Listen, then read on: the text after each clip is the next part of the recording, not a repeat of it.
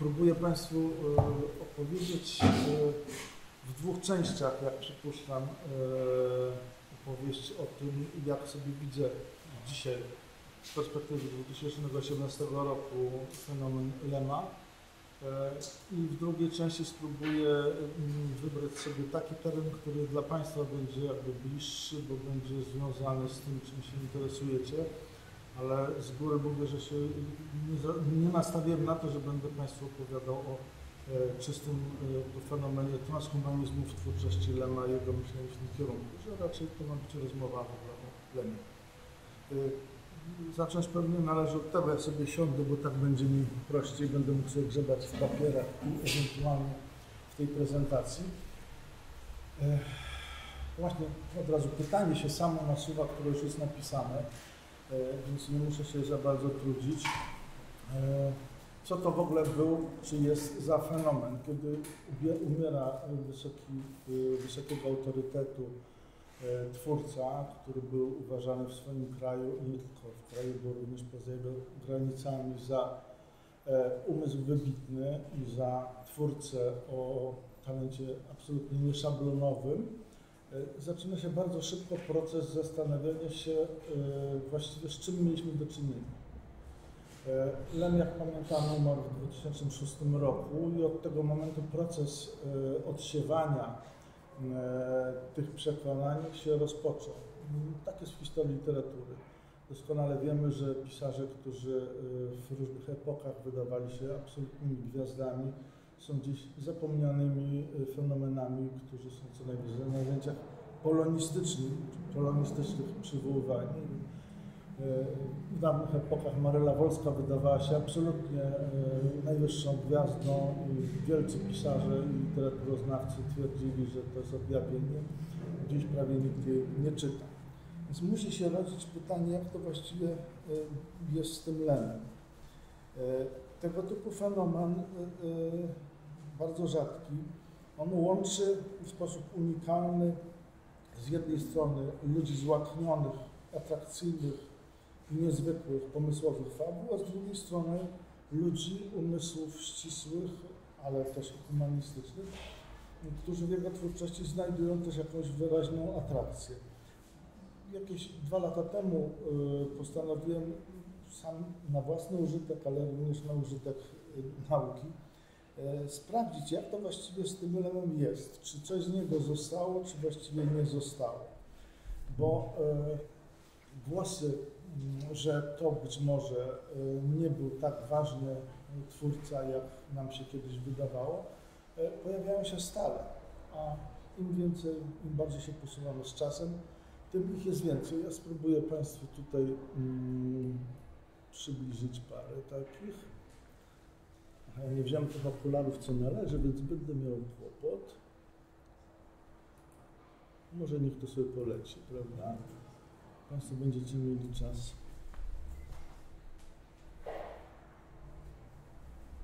On mi otworzył drugie okno, nie wiem po co. Co mam zrobić, żeby przejść do jednego okna? Czy ktoś z Panów wie?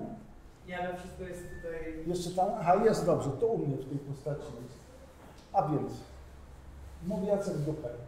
Ten typ myślenia o świecie literaturze, jaki prezentował Leon, szybko idzie,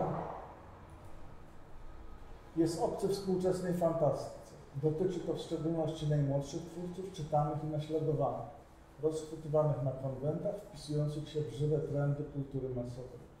Oni są bowiem absolutnie wolni od jakichkolwiek wpływów lemowskich. Wzorują się na tym, co się rozumie przez fantastykę w popkulturze globalnej, czyli w standardzie amerykańskim, a dokładniej mówiąc hollywoodzki. Jacek Dukraj jest wyznawcą ostrego poglądu, że e, zjawisko LEM należy już do świata przeszłego i w zasadzie, e, tak jak gatunek, który uprawiał, czy science fiction, jest e, fenomenem, który, z którym pożegnaliśmy się już raz na zawsze. Jak twierdzi, 1 do 3% środowisk zajmujących się fantastyką interesuje się science fiction, a Lem jest zjawiskiem, które można nazwać, jak w środowisku fantastów mm, się to określa, lemozaurem, a zatem takim dinozaurem okresu przeszłości. Maciej Parowski, a zatem y, wieloletni redaktor Nowej Fantastyki, y, depozytariusz sporej wiedzy na temat tego gatunku i sam pisarz. Sam fakt, że mogliśmy czerpać z jego twórczości sprawiał, że byliśmy bogatsi. Bez niego polska literatura fantastyczna nie byłaby taka sama, mogłaby pójść w inną stronę, może gorszą, głupszą, pozbawioną ambicji. Nie byłoby nas bez niego. Lem funkcjonuje jako punkt odniesienia zarówno dla autorów, jako wydawców, jak i czytelników. A zatem docenienie jego wartości jako kogoś, kto był e, promotorem wielkiej zmiany na rynku fantastyki w Polsce i na którego książkach e, i koncepcjach uczyły się e, no, przynajmniej dwa do trzech pokoleń pisarzy. To są wybory z, dłuższych wypowiedzi z kongresu. Maciej Oram, Marek Oramus, kolejny y, znany pisarz i jednocześnie kodyfikator wielu praw fantastyki. Lem zasypywał na naszych oczach przepaść, która dzieliła nas od fantastyki światowej. Kiedyś to pojęcie odnosiło się tylko do science fiction, a dzisiaj obejmuje fantasy, horror i inne gatunki. Trzeba sobie uświadomić, że tradycji takiej literatury w Polsce nie było. Ten brak Pan Bóg wynagrodził nam nad wielką osobowością Lema. Jego twórczość zapełniła tę lukę, ponieważ była późniejsza. Werna i Wellsa dała nam znacznie więcej. To jest zasługa Lema, że w ciągu kilkunastu lat wypełnił swoimi książkami kilkusetletnią pustkę doprowadził rozdzielników do poziomu fantastyki światowej. A zatem podkreślenie wielkiego wkładu, jeśli chodzi o pokonanie jednym wielkim, gigantycznym skokiem zaległości, którą literatura polska w zakresie fantastyki miała wobec innych literatów. Kolejny głos, teraz w drugą stronę, Andrzej Sapkowski. Wszyscy uznają go za mądrego człowieka, wręcz za filozofa. Tymczasem był tylko wspaniałym narratorem niczym więcej. Opowiadał po prostu w pasjonujący sposób historię. Był wielkim narratorem i powalał na kolana. Ale wybaczcie, nie był filozofem. W jego książkach nie można znaleźć niczego, co nie istniałoby wcześniej. Pod koniec życia i kariery stał się jadowitym dziadkiem, który nienawidził wszystkiego, co nowe i nowoczesne. Powiedział nawet, internet jest jak kryminalistów i idiotów, a co najgorsze, wyparł się science fiction niczym święty Piotr Chrystusa. A zatem zdrajca swojego gatunku, zdrajca swojego powołania, a jednocześnie wyłącznie zręczny opowiadać fabuł narratyw. Salvador Bajary, jak Państwo widzicie, filozof, pisarz hiszpański, eksploatator wirtualnej rzeczywistości. Pesymizm i gniewy starszego pana można rozumieć jako frustrację geniusza, który ma jasną wizję tego, jak ludzkość mogłaby wykorzystać technologię. W sumie technologię błyskotliwie opisał to to zapętlone, bo ja to kiedyś używałem, że to będzie sobie leciało, publiczność będzie czytała, a ja oszczędzę sobie e, komentowania tego i mówienia, będę mówił co innego. A teraz co inaczej. Więc w sumie technologia opisał, jak przy pomocy y, jej pomocy, czyli techniki przekroczyć nasze biologiczne ograniczenia. Czytając ją dowiemy się niesamowitych rzeczy, na przykład na temat dzisiejszych wyszukiwarek, algorytmów Facebooka służących do filtrowania informacji, na temat wirtualnej rzeczywistości, symulacji oraz wielu innych rzeczy, które Lem w przenikliwy sposób przewidział. Lem uświadamiał sobie już w latach 60. rzeczy, które my zaczynamy uzmysławiać sobie dopiero dziś. Na przykład to, że technologia rozwija się tak szybko, iż tracimy nad nią resztę kontroli. On doskonale wiedział, że nie, że nie możemy powstrzymać technologii, ani nie możemy jej kontrolować a zatem głos obronczy w stosunku do e, dokonań Lema, ale uświadomię sobie, że mm, pewne przechyły u niego nastąpiły. I ostatnio już Oliński. Podstawowym przekonaniem Lema było stwierdzenie, że homo sapiens został kiepsko zaprojektowany. Był wobec niego tak krytyczny, że doszedł do wniosku, iż składam się głównie z błędów bo od góry do dołu jesteśmy źle zaprojektowani. Na przykład mamy szkielet stworzony do poruszania się na czterech kończynach, kończynach a ewolucja postawiła nas do pionu. Ponieważ to jednak są wciąż te same kości, dwunożność jest ewolucyjną prowizorką. Tej kwestii dotyczy główna oś myślowa sumy technologii. Jak wykorzystać do takich zmian technologię? Lem dążył bowiem do trans- transhumanizmu w czasach, gdy słowo to jeszcze nie istniało.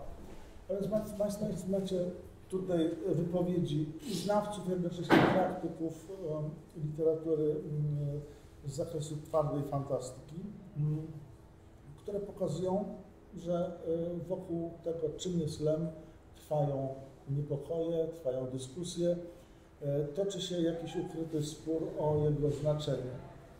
Y, Te dalszych y, slajdów ja nie będę komentował, tylko będę chciał, żebyście Państwo je śledzili, bo to jest jakby osobny temat, ale ponieważ po rozmowie przed spotkaniem z Państwem e, zorientowałem się, że mam do czynienia z niezłymi głowami, więc Państwo potraficie sobie to na pewno w lot i na bieżąco e, zreprodukować i zinterpretować. E, Generalnie są to wyniki bardzo dużej ankiety, którą kiedyś przeprowadziłem, mm, której zresztą mm, wyniki potwierdził ten kongres lemologiczny, który się odbył we Wrocławiu, jak wspomniałem, dwa lata temu, gdzie e, dwu- 20 osobom specjalnie wybranym, a zatem najlepszych polskich literaturoznawców zajmujących się twórczością Lema i 10 literaturoznawców literaturoznawców i pisarzy, którzy reprezentują fantastykę, też z górnego jakby świecznika, i oni otrzymali zadanie określenia, mm, które można by streścić w krótkim pytaniu, za co kochamy Lema, albo za co go nie kochamy. To są jakby wyniki tej wielkiej ankiety i sumowanie i przetworzenie. Wyniki są zaskakujące, bo pokazują coś zupełnie e, dziwnego. Widzę, że to nie leci samo, tylko się zatrzymało. E, To ja spowoduję, że to punkty sobie damy i Państwo będziecie mieli jakby drugi nurt naszych e, rozważań. Państwo wiecie, że kiedy żyje twórca, on może bardzo silnie rzutować na odbiór swojego dzieła. E, Są twórcy o takiej energii, takim osobistym oddziaływaniu, które powoduje, że to dzieło się mocno utrwala i przechodzi poprzez legendę do e, pamięci następnych pokoleń. No, przykład Gombrowicza czy Witkacego, Witkacego szczególnie e, może być tu instruktywny. Lem był człowiekiem bez wątpienia takiej samej barwności, o takim samym potencjale, ale tego potencjału, jak uważają mm, ludzie znający go, niespecjalnie używał. Bez wątpienia takie umiejętności medialne i autoreklamiarskie, gdyby chciał, to mógłby uruchamiać. Mm, O jednej rzeczy jeszcze zapomniałam wcześniej powiedzieć, tam gdzie mówi e, Jacek Dukaj, którego podejrzewam trochę o złą wolę, mm, który mówi, że Lema już nikt nie czyta. A kwestia, czy ktoś jest czytany, czy nie jest czytany, jest bardzo ważnym wyznacznikiem tego, czy jego twórczość żyje i jest asymilowana, czy w ogóle już nie porusza się w biegu społecznym. E, Ponieważ to jest wyliczalne, e, to powiem Państwu, że od roku śmierci Lema do roku 2016, a zatem w ciągu 10 lat, sprzedano około ponad miliona e, książek Lema. No, to znaczy, że e, w ciągu roku zeszło 100 tysięcy. Poziom 100 tysięcy nakładu jest to poziom sukcesu. To są bestsellery, które sprzedają w 100 tysiącach w Polsce. E, e, Przypuszczalnie Duchaj polemizując by powiedział, no tak, ale to pewnie kupowali ci, co się na tych książkach wychowali. No nie, raczej to byłaby nieprawda. Ci, co się na tych książkach wychowali, już te książki po prostu posiadają. Bez wątpienia mamy do czynienia z e, kolejnym siewem, czy z kolejnymi siewami e, odbioru tego pisarza. To kupują ci, którzy wcześniej tych książek nigdy nie mieli. A zatem bez wątpienia mamy do czynienia z odbiorem żywym. Tak? Sprzedaż potwierdza, że e, istnienie Lema nie jest żadnym wymysłem, jeśli chodzi o percepcję. E, Ponieważ Państwo wiecie, to, to trudno mi to wyminąć. Miałem szczęście poznać Lema osobiście, a co więcej przeprowadzić z nim rozmowy, które mm, złożyły się na trzy różniące się zresztą między sobą e, wydania, a zatem rozmowy z Lemem e, z 86, 87 roku. Niemiecka wersja była trochę inna, tak że Lem mm, ukazało się jako e, Also sprach Lem mm, w 86 roku i W 2002 roku Taco Rzeczelem, mm, wersja, która się różni od tej pierwszej, bo są tam rzeczy, które, e, jak napisali w przedmowie do tego wydania mm, wydawcy, e, no bo zostały zdjęte przez cenzurę. I Dziś powiedziałbym, że mimo, że zgodziłem się na taką wersję, nie przez cenzurę, to przypuszczam przez samo wydawnictwo, którego szefem wówczas był jeden z członków Komitetu Centralnego PZPR. E, Cenzury nie musieli daleko szukać, tylko mieli ją u siebie. Tak? Więc te części weszły, które zostały no, pewnie wyperswadowane, albo wymuszone, albo wynegocjowane w rozmowach z pisarzem. E, Doszły nowe, mm, nagrane po 20 latach części. E, Po 20 latach, ponieważ przez 20 lat pomiędzy Lenem a pomiędzy mną, co może niektórzy wiedzą, a ja nie muszę tego ukrywać, e, zapanował rodzaj wojny, e, kiedy zostałem skazany na nieistnienie i co jakiś czas musiałem było czytać w prasie, że jestem idiotą albo niedorozwojem, e, co bardzo moi rodzice przeżywali. Dziś to ze śmiechem mogę wspominać, wówczas było nieprzyjemne. Dopiero po 20 latach dostałem, e, dostałem e, zaproszenie do powrotu do rozmów i do stworzenia nowej ich wersji. To tak, e, żeby było jaśniej, dlaczego te rozmowy mają trochę inny charakter, trochę inny kształt. Po 20 latach też byliśmy trochę inni i troszkę inaczej już rozmawialiśmy. Ja byłem pewnie śmielszy, zaliczyłem już ciężkiego arbuza, więc wiedziałem, że się nie ma czego za bardzo bać. Się najwyżej znów na następne 20 lat e, będę zawieszony. E, Lem, jak wspomniałem, miał bardzo dużą siłę bezpośredniego oddziaływania, mm, ale niechętnie, jak Państwo wiecie, udzielał się publicznie. Dlaczego? Po prostu nie lubił, że ktoś mu zabiera czas. On uważał, że czasy, że są tak drogą, że to tak jakby ktoś mu chciał zabrać żonę albo syna mm, i dla takiego procederu nie ma przebaczenia. Y, Państwo pewnie słyszeliście od czasu do czasu o różnych dziwnych przypadkach, ponieważ był to człowiek pełnego tem, niezwykłego temperamentu, e, o nieszablonowych zachowaniach. E, On potrafił zrywać nagrania telewizyjne. Ja sam jestem osobistym świadkiem, to tak, żeby trochę postać przybliżyć. Jak Lem e, wyrzucił ze swojego domu, to się było na moich oczach, bo ja czekałem akurat na swoją mm, kolejkę na nasze nagranie. Przyjechałem trochę wcześniej i chodziłem tam w okolicach domu, a przyjeżdżałem wcześniej, bo mnie znosił, jak się ktoś spóźnia. I nagle widzę, jak drzwi się otwierają i, wylatuje jakiś człowiek i spada po schodkach, tam było kilka schodków, a za nim leci kamera i kamera się rozwala na tym trawniku. A za chwilę widać samotaninę w drzwiach i po chwili drugi człowiek wylatuje i widać nogę, e, którą rozpoznałem jako nogę pisarza i drzwi się zatrzaskują.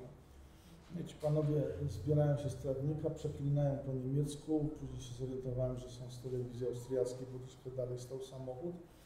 Więc yy, nie chcę powiedzieć, że jest to odbicie kultury osobistej Lema, bo yy, chcę powiedzieć, że to jest dowód na to, jak dalece mu nie zależało na odbiorze publicznym, jego e, e, ten imidż y, medialny, który dla niektórych jest wszystkim, y, poczucie, że odbiór jest najważniejszy pozycja jest najważniejsza. Nie. Dla niego pozycja była najważniejsza, ale nie w tym wymiarze. Dla niego przedmiotem ambicji było to, że jego utwory, jego książki, a właściwie zawarte w nich koncepcje, będą rozpoznawane jako realne problemy do rozpatrywania przez e, badaczy, przez uczonych e, kilku albo nawet kilkunastu dyscyplin. E, Powtórzę to, co powiedziałem pół godziny czy godzinę temu do, do Państwa kolegów, mm, bo jestem w jakiś sposób świadkiem. Mm, Przez 15 lat prowadziłem w telewizji y, program o literaturze, zatem miałem okazję mieć przed kamerą i przed sobą właściwie wszystkich pisarzy polskich, najwybitniejszych, również zagranicznych. Y, Mogę zaświadczyć, że tak y, błyskotliwego umysłu, tak szybko funkcjonującego, tak reagującego na wszystkie wyzwania, a jednocześnie pożerającego tak ogromne ilości informacji i potrafiącą reagować,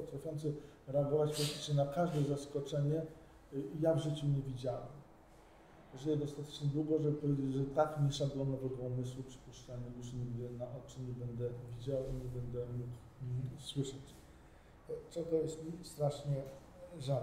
Mm, jeżeli do tego dodamy jego niezwykłą mm, umiejętność y, zaskoczeń w postaci żartu, paradoksu, e, małpich, zupełnie niezwykłych e, pomysłów onomastycznych. Lem potrafił z, jedno, z jednego słowa wyprowadzić z 15-16 odmian, każde inne, a jednocześnie po podobnej semantyce, na przykład po to, żeby się nad kimś wyzłośliwiać. Jak na przykład jakiegoś filozofa nie lubił, no to potrafił robić klony jego nazwisko, nazwiska w każdym kolejnym zdaniu.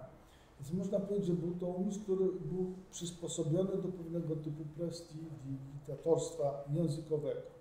A tkanka językowa jest ogromnie ważna w odbiorze książek Lema, nawet jeżeli czytamy jego dzieła teoretyczne, takie jak e, Suma Technologii, jak e, Filozofia Przypadku albo Rozprawy i Szkice, Państwo na pewno rozpoznacie, że to nie jest ten sam drętwy język konferencyjny, mowa uczonych od owadzich nogów, tylko to jest język E, nasycony myśleniem eseistycznym, błyskotliwymi paradoksami, żartami, e, a jednocześnie umiejętnością stosowania no, takich naoczeń, które w świecie nauki i w jej języku raczej nie są stosowane.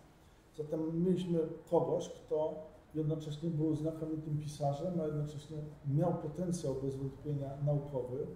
Orliński w swojej książce y, pisze, że to było chyba w ogóle marzenie Stanisława Lema, żeby być uczonym tak się jego życie potoczyło, że to się nigdy nie stało. Ale to marzenie jakoś się za nim snuło i przewijało. Jeśli Państwo pozwolicie, to chociaż to brzmi trochę szkolnie, yy, troszkę nawiążę do jego yy, biografii, bo bez tego wielu rzeczy nie można zrozumieć podczas kongresu lemologicznego za dwa razy przynajmniej wstawały y, różne młode osoby, ale nie młode w sensie, że podejrzewał mnie o naiwność, bo one były kompetentne. Żeby powiedzieć, że y, dziwi je, że my tu rozmawiamy o jakichś sprawach związanych z wojną, z pochodzeniem żydowskim i z takimi rzeczami, albo o charakterologicznych cechach jakiegoś pana z Krakowa, z którym Lem współpracował w 1946 roku. Mm, niełatwo to było wytłumaczyć, więc może dzisiaj do tego nawiążę, bo to są jakby ważne elementy, które łączą się z tym y, pytaniem, no właściwie dlaczego Lem poszedł tą drogą, a nie inną. Jak wiecie, mm, przypuszczalnie, a nawet na pewno, był już jako dziecko rozpoznawalny, może nie jako geniusz, ale jako dziecko bardzo nieszablonowe. Y, to, co opisuje w Wysokim Zamku, y, należy traktować poważnie i serio. E, on tam nie wspomina o tym, ale e, to zostało sprawdzone. Lem miał iloraz inteligencji, który był najwyższym ilorazem wśród dzieci zbadanych w całej południowej Polsce. Nie wiem, jak wyglądały te pomiary dla północnej Polski. A zatem przed wojną, przed 1939 był to najwyższy iloraz inteligencji. E, co wskazuje, że ten ktoś wchodził w świat Mm, rozpoznawania nauki, rozpoznawania literatury no, z bardzo potężnym aparatem, który mógł to pozwalać ciąć, kawałkować, analizować, zestawiać. No, tak się niestety nieszczęśliwie zdarzyło, że w czasie wojny Lem y, pracował, jak Państwo wiecie, y, a jak nie to przypomnę, jako spadacz, jako pracownik fizyczny w firmie Rostocker Fassung, E, która wydawać się dawniej mogła czymś zupełnie niewinnym. Natomiast po książce Orlińskiego, a również po pracach, po pracy bardzo pracowitej, kompetentnej Agnieszki Gajewskiej, wiemy coś więcej, bo Lem o tym wszystkim nie wspominał. Jeżeli Państwo byście czytali te rozmowy, które przeprowadził z y, redaktorem Fiołkowskim albo ze mną, nie znajdziecie tam żadnego śladu, że Lem pochodził z rodziny żydowskiej, a w związku z tym w czasie okupacji niemieckiej w Lwowie musiał się znaleźć albo w getcie, albo musiałby się ukrywać. Tam nie ma nawet słowa na ten temat. I nigdzie w jego twórczości, wspomnieniach takich rzeczy i takich informacji nie ma czymś, natomiast zupełnie innym jest życie człowieka, który doświadczył jako Żyd e, i podlegający ustawom norymberskim represji niemieckich i poczucia zagrożenia, a kimś, kto tego nie miał. Mm. Jest taka scena e, w książce Głos Pana, tak, w Głosie Pana z 1968 roku, gdzie bohater tej książki, jest to uczony, on się nazywa Rapaport, doktor Rapaport opowiada o zdarzeniu, które e, on pamięta ze swojego dzieciństwa. Rapaport pochodzi z Europy Wschodniej. E, I on opowiada, jak znalazł się w pewnym podwórzu, gdzie e, wynoszono trupy, wynoszono ogromne ilości trupów, zwały całe. Mm, te trupy były palone, a jednocześnie z miasta byli zganiani ludzie, których Niemcy rozstrzeliwali. Dowodził tym wszystkim młody, bardzo przystojny, elegancki, panujący znakomicie nad wszystkim SS-man. E, I on stał w tej grupie Rapaport i czeka na swoją kolejkę, bo są rozstrzeliwani grupami. Wcześniej, zanim są rozstrzeliwani, muszą te trupy nosić i obsługiwać, że tak brzydko powiem. Mm, I dochodzi do momentu, kiedy on próbuje się wcielić myślowo w tego SS-mana. On chce zostać tym SS-manem. On chce się przenieść mm, jakby do jego wnętrza. E, nigdy byśmy nie wiedzieli, gdyby nie pewien list Michaela Kendla, tłumacza angielskiego e, Lema, który po prostu w jednym ze swoich listów ujawnił, że e, przeżycia opowiedziane przez Rapaporta są jego własnymi przeżyciami. Dziś jesteśmy w stanie sobie zrekonstruować, ja tego nie będę wszystkiego opowiadał, podeślę Państwa do książki Gajewskiej i do Orlińskiego ale zapewniam, że to jest wiedza bardzo niedawna. Literaturoznawcy polscy, krytycy polscy, pisząc przez te 50 lat o Lemie, w ogóle tych spraw nie dotykali i nie ruszali, albo trochę z poprawności politycznej, albo trochę dlatego, że nie wiedzieli. Analogicznie, gdyby w jego twórczości były akcenty, które pozwalają to wprost odkryć, to pewnie byłoby łatwiej chociaż dla bystrych ludzi taka książka Czas nieutracony, konkretnie drugi tom tej książki, powinien być wskazówką. Co się działo z Lemem w czasie II wojny światowej, e, kiedy pracował w Rostoferfasum, dlatego o tym wspominam, było to miejsce, była to tak zwana przechowalnia dla Żydów. E, szef Rostoferfasum nie płacił zatrudnionym ludziom, tylko oni płacili jemu za to, że mogą pracować. On się nazywał Kremin, on dzięki temu mógł ich kryć. Z Niemcami miał jakiś deal zawarty. Mm, I oni pozwalali im żyć w zamian za to, że pracują, a jakieś części pewnie są wprowadzone do kieszeni urzędników e, niemieckich albo dowódców niemieckich. Mm, nie wiemy, w którym momencie Lem przestał pracować w Rostoferfassung i dlaczego, ale dziś łatwo sobie dopowiedzieć. Były kolejne jakby fazy holokaustowe, kiedy mordowany. Przyszła faza, kiedy również ci zabezpieczeni odpowiednimi papierami, umowami, Żydzi też już mieli pójść e, mm, do getta albo być wwiezieni do Treblinki, albo w inne miejsca, e, gdzie rozstrzeliwano. Mm, w tym momencie Lem musiał przepuszczalnie zdecydować o ucieczce. Skąd wiedział, w jaki sposób wyczuł, że to jest ten, a nie inny moment, nie wiemy. E, można tylko wierzyć, że była, był to efekt wybitnej inteligencji, e, która potrafiła rozszyfrować tak e, trudne rzeczy, jak e, to, jakie kroją się decyzje polityczne. Notabene ocalał też jego ojciec jego matka. Nie wiemy, kto o tym zadecydował, w jaki sposób, jak to się stało, ale nigdy o tym nie mówił. A zatem mamy do czynienia z twórcą, który stabilizował w dużym stopniu swoje życie, zamknął je pod kluczem i nigdy nie pozwalał nikomu do tej skrzynki zajrzeć. A jeżeli ktoś próbował, to dostawał na różne sposoby po łapach. Jak Państwo zajrzycie do, do tych rozmów, które z nim prowadziłem, to zobaczycie, jak on, w jaki sposób on to robił, tu się nie chcę na tym rozwodzić. Tak? E, więc można powiedzieć tak, w jeden sposób te lata są inicjacyjne dla Lema stracone e, w sensie intelektualnym ale jeżeli on nie mógł wychodzić, bo na pewno nie mógł maszerować po mieście tak jak każdy inny mieszkaniec Lwowa wczesnej, przypuszczalnie poświęcał ten czas bardzo intensywnej lekturze. Jeżeli czytamy historię bohatera czasu nieutraconego, niejakiego wilka, to jest genialny matematyk, to przypuszczalnie to jest ten sposób funkcjonowania. Ten genialny umysł mieli gigantyczne ilości książek, artykułów, prasy, tak? co spowodowało, że z wojny wyszedł nie e, wypróżniony mm, informacyjnie, ale był już bardzo dobrze przygotowany. Więc nie jest przypadkiem, że kiedy znalazł się e, w 1946 roku w Krakowie, w jakiś sposób wyłowił go bardzo niezwykły człowiek, jakim był Mieczysław Chojnowski. To był mm, uczony psycholog, e, psychiatra z Krotoszyna, który wyemigrował z Polski Ludowej po jakimś czasie, bo był zbyt nieszablenowy, nietypowy. On założył konserwatorium naukoznawcze. No i wypatrzył sobie tego lewa, już nie pamiętam przy jakiej to dokładnie okazji było, i zaproponował mu współpracę jako asystentowi. Ale takiemu asystentowi, co, któremu się zleca różne takie podrzędne prace. E, i zaraz na samym początku powiedział, że ma e, zrecenzować e, świeżą opublikowaną tą cybernetyki Winera. To było wielkie dzieło przełomowe dla historii nauki, e, a tu nagle Chojnowski każe to zrobić jakiemuś młodzieńcowi, który się pojawił w Krakowie.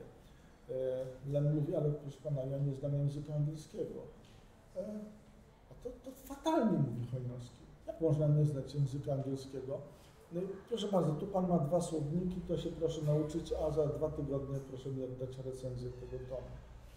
E, no i tak Lem poznawał mm, ten wielki, przełomowy tom, zrecenzował, te recenzje można przeczytać.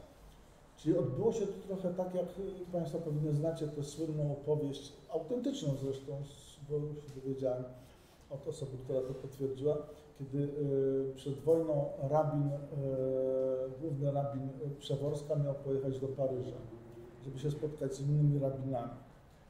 No ale rabin nie znał języka francuskiego, no więc jego uczniowie mówią, Reba, jak ty będziesz z nimi rozmawiał? No on mówi, a tu mam parę słowników. No, po czym Rebę wziął i ponieważ miał wyjechać też za tydzień czy za półtora, Siadł i przeczytał te słowniki y, polsko-francuskie, francusko-polskie od przodu do tyłu, od tyłu do przodu. Następnie pojechał, się porozumiewał i bardzo dobrze wypadł, chociaż mówił fatalnie, bo mówił tak jak transkrypcja była fonetycznie napisana za tym niemieckim, ale mniej więcej y, podobnie mówił po angielsku, ci co go słyszeli mówią, że to było z podobnym obciążeniem. Widać, że kogoś, kto się nauczył poprzez czytanie, a nie poprzez mówienie, nie poprzez słuchanie. W każdym razie to jest jakby ten kolejny etap, ja już o tym nie będę dłużej mówił. Ale jest ileś lat w życiu młodego Lema, kiedy on czyta w kilku językach i co ty czyta pozycje dość nietypowe jak dla przyszłego pisarza. Bo czyta książki z wszystkich podstawowych dziedzin nauki i czyta w wydaniu najlepszych autorów, bo takie gromadził Chojnowski w swoim konserwatorium, ponieważ przychodziły całe paczki, które on załatwił w Stanach Zjednoczonych dzięki współpracy w ramach pomocy Polski, Polsce i krajom e, po II wojnie światowej, krajom wschodnim. E, więc to nie jest tak, że ten lem wyskoczył nagle z, jakby z głowy bogini, tak? Gotowy. To był okres przygotowania. Więc kiedy mówimy o tym nieprawdopodobnym umyśle, nieprawdopodobnej skali wiedzy Lema, to mamy do czynienia z czymś zupełnie nieprzypadkowym.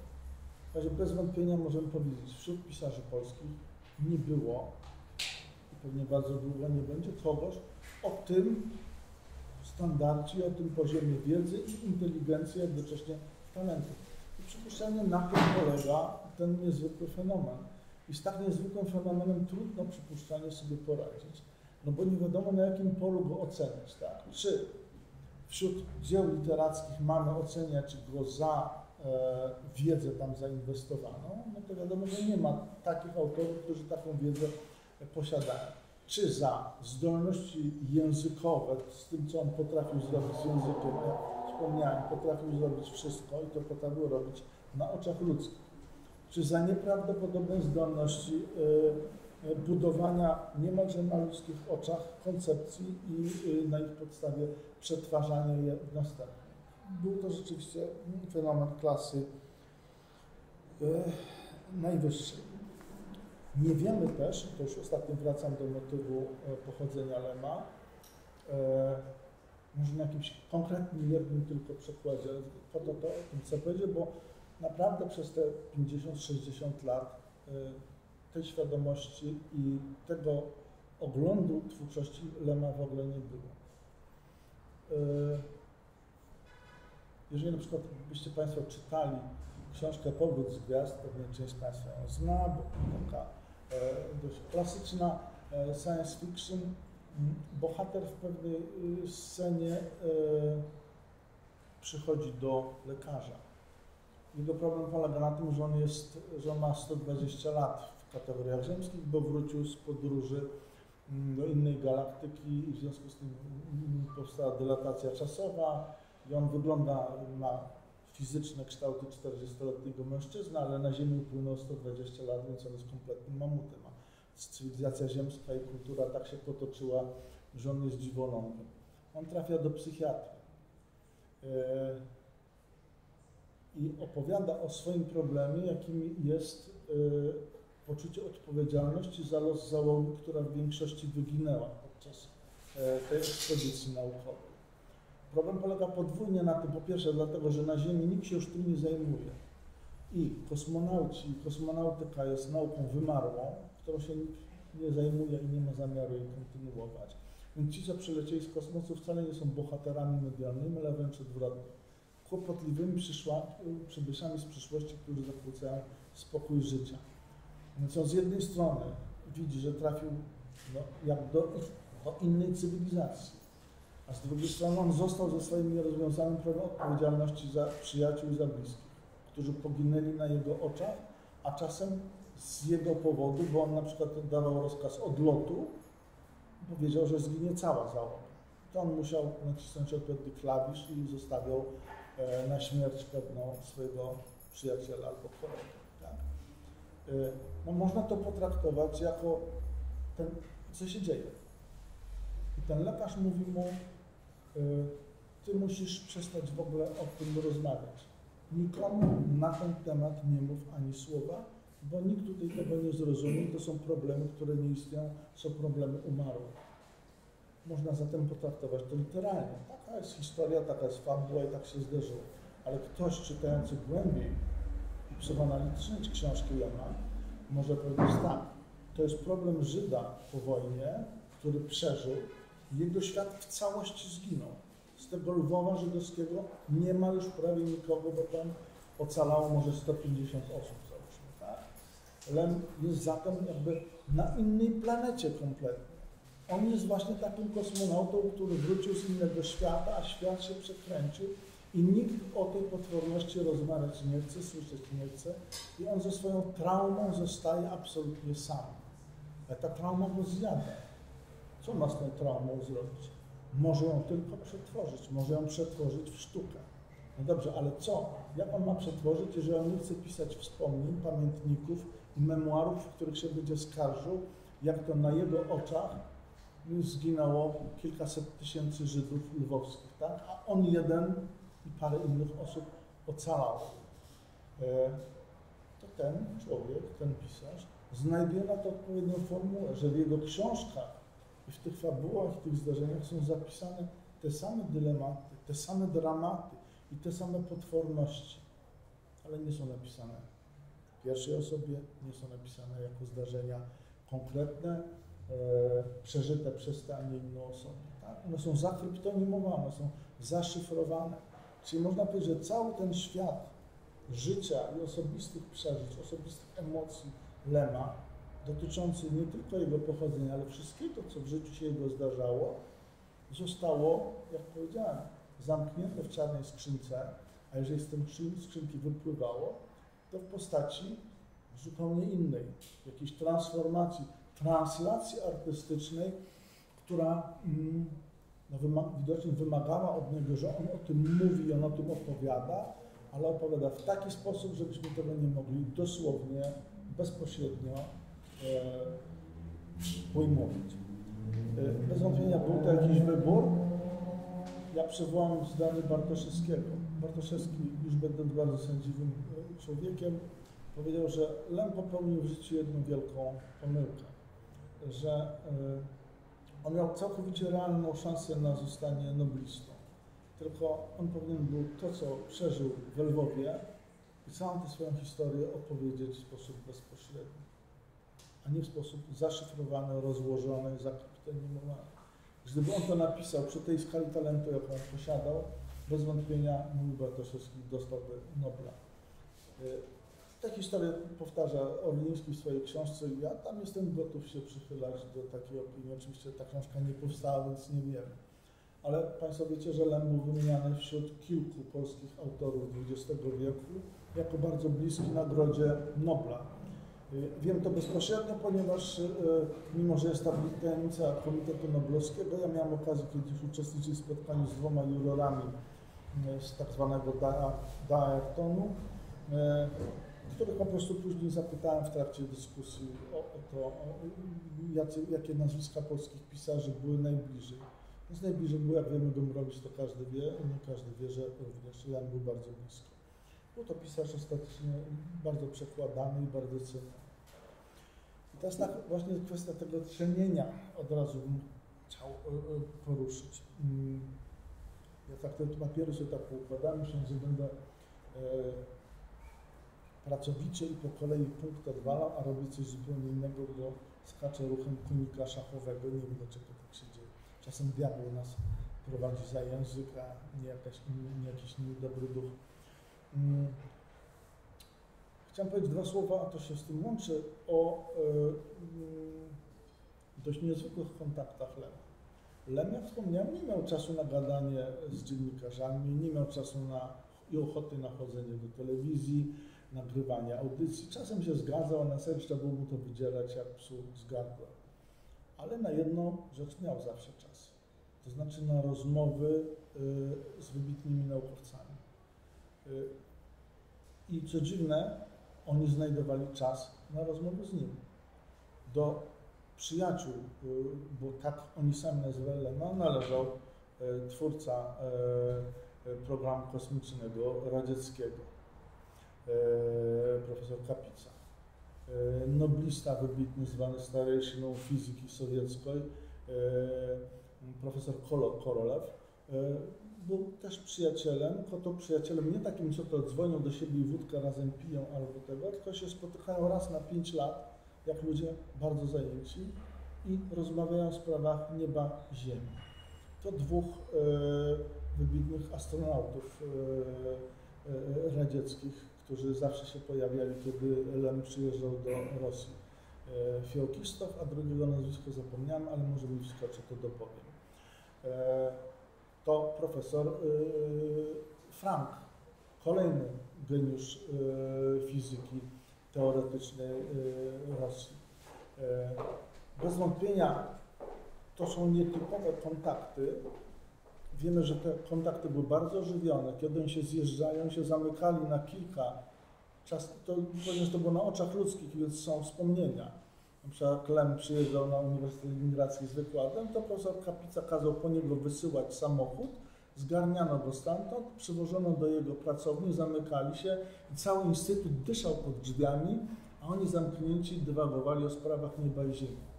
Tak zajęci ludzie o, pracujący na tak wysokich obrotach nie mają czasu na gadanie za przeproszeniem o byle czym. Tak? Więc daję to Państwu na prawach anegdoty, na zasadzie anegdoty, żeby uświadomić, że to nie były y, dylematy, pomysły i myśli Lema, nie były czymś y, sfingowanym naukowo, jak często y, spotykamy się z takimi podejrzeniami.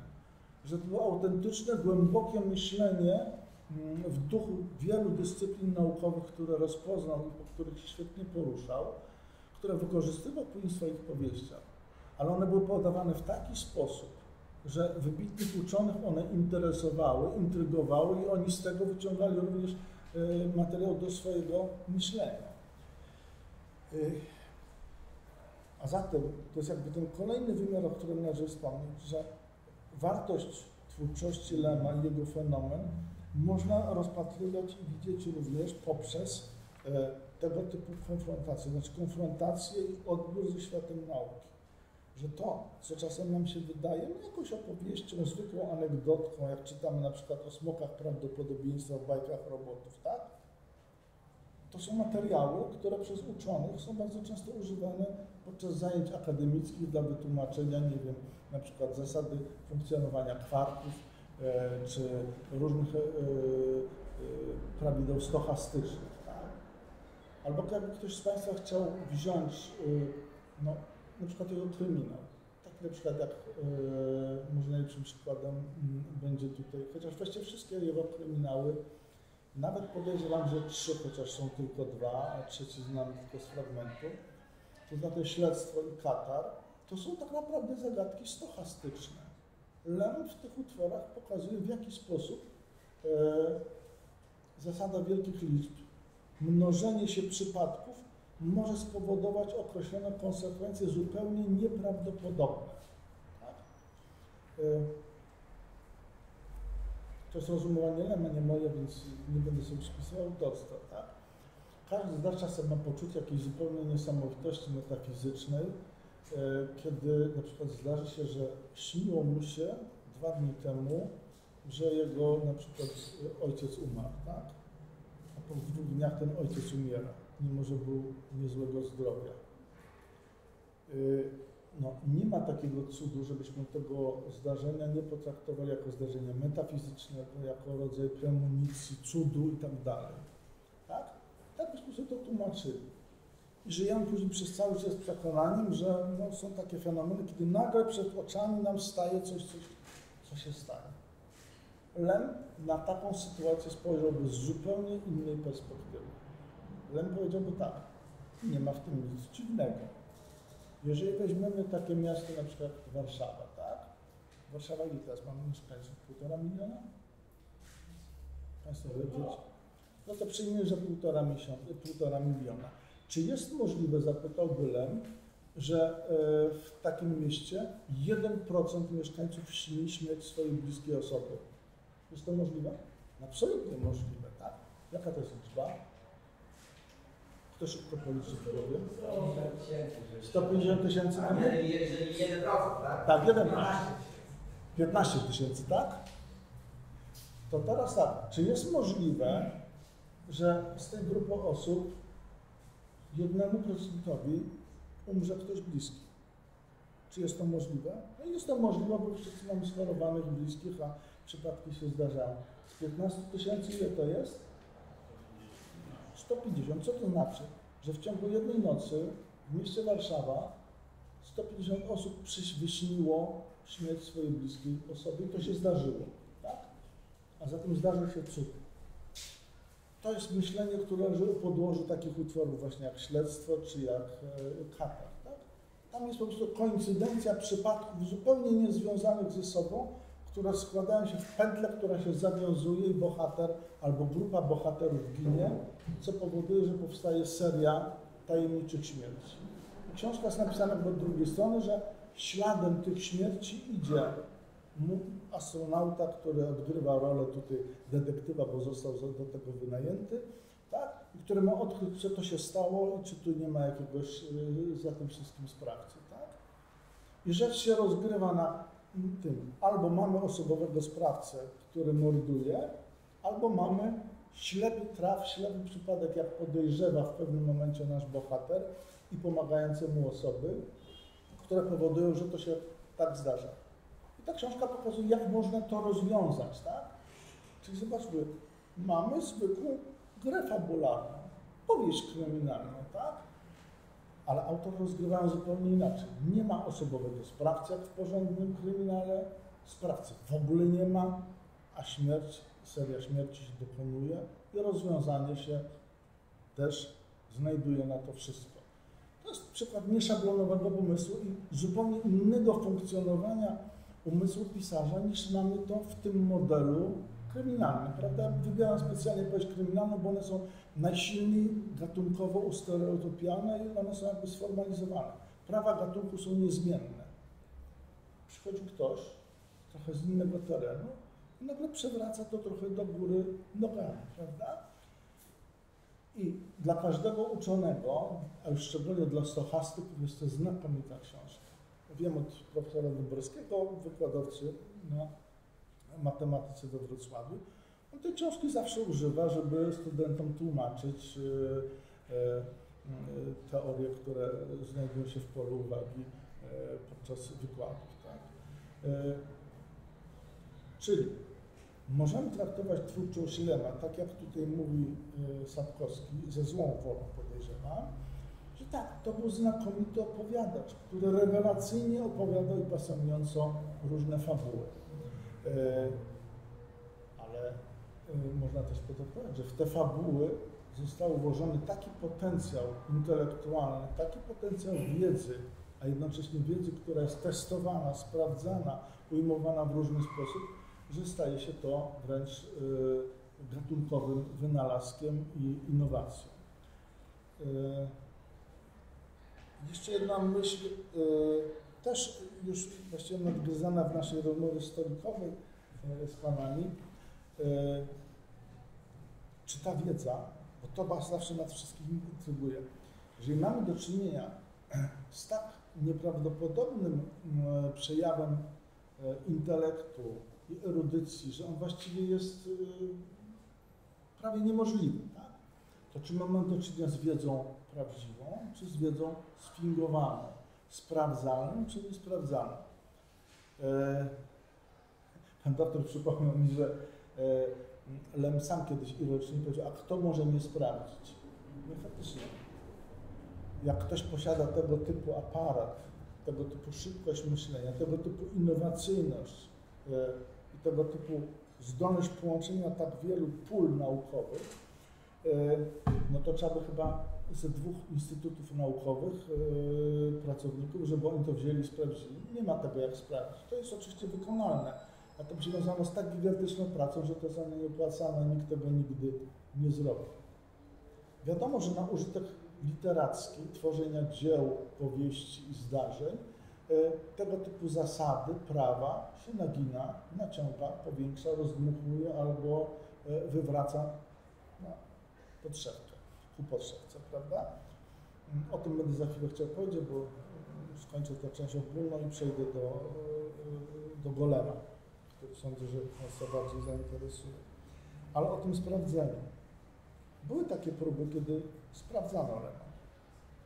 Pierwsza w 1964 roku, kiedy opublikował Sumę Technologii, Instytut Filozofii i Socjologii PAN stworzył, zaprosił Lema na sesję, na konferencję, w której maglowano jego książkę.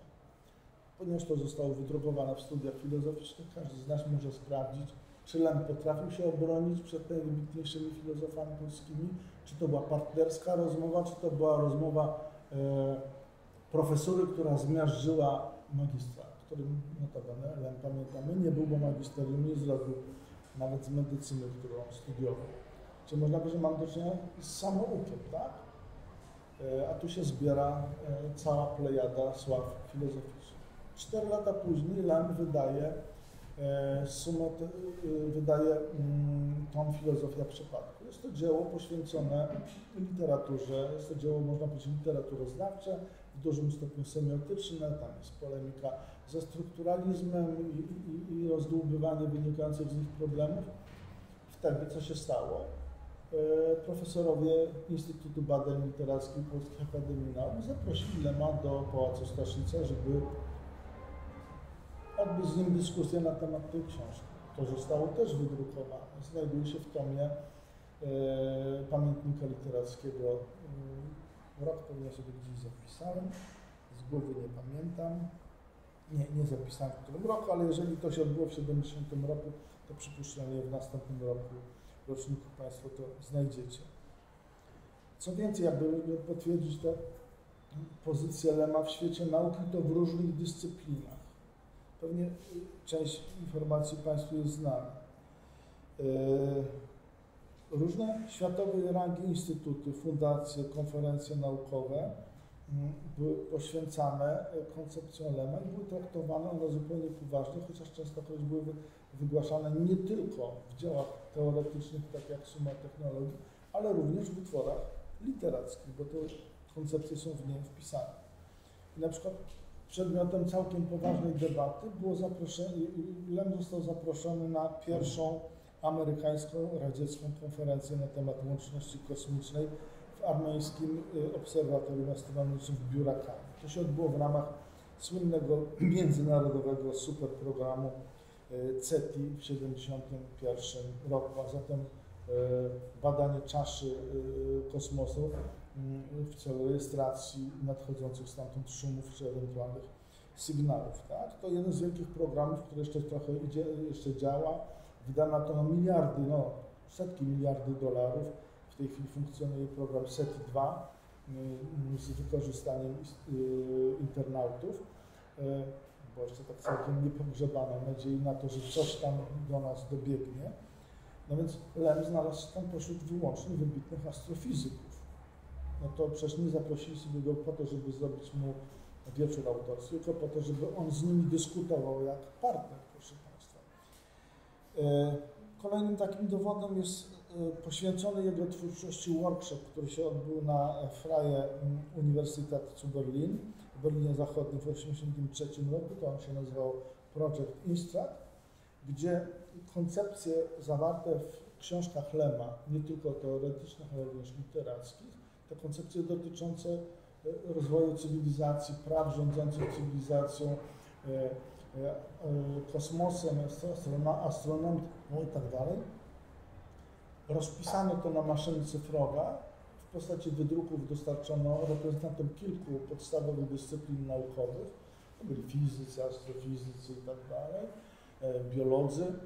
I następnie przez bodaj dwa dni trwała dyskusja Zupełnie poważna naukowa dyskusja.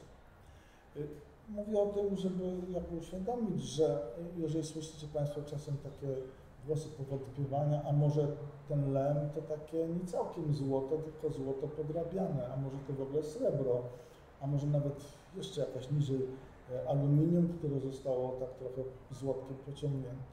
Jeśli chodzi o tą stronę jakby intelektualną, środę pozna stronę poznawczą, myślę, że te argumenty mogą Państwa przekonać, że jednak ta literatura zawiera bardzo poważny potencjał, mm, który warto rozważać i który należy poważnie traktować.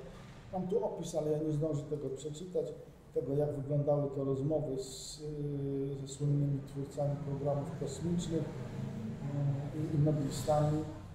W każdym razie e, było on, on zdarzeniami o niezwykłej temperaturze. Jakby na koniec tych moich dywagacji tej części no, myślę, że symboliczny wymiar, wymiar e, pozycji Lema, jego relacji z nauką światową ma e, fakt, że w 1979 roku planetoida odkryta w tak zwanym pasie głównym, to znaczy pomiędzy Marsem a Jowiszem, ona otrzymała nazwę 3836 W ten sposób astronomowie, że tak powiem, oddali cześć albo wyrazili, jak sądzę, szacunek dla tego pisarza. A może jeszcze na koniec tego upewnianie, że złoto może być, jest złote w dużym stopniu, no to yy, ten objaw paranoicznej obsesji słynnego pisarza amerykańskiego Filipa Dicka.